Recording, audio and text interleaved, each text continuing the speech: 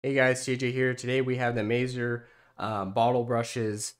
These um, are pretty nice. They come in a five pack, so you get a variety of different sizes. You know, you got this small one right here. Um, you can use this for straws and stuff like that. That's kind of our go-to thing because we have Yetis, uh, like Yeti cups with straws, um, and it's very difficult to clean the straw um, with just a sponge. So having that to get down deep and in there, which is great. Um, then you slowly have different sizes. So, you know, you can clean anywhere from the big Yetis or whatever big water bottles you have, uh, beer bottles, wine bottles, any bottles you have, this will basically just conform and clean it um, thoroughly, I should say. So if you're looking for a set that will cover all kind of your bottle bases, this is the one to check out. I like that it has a variety of different sizes and it comes with this little straw one right here.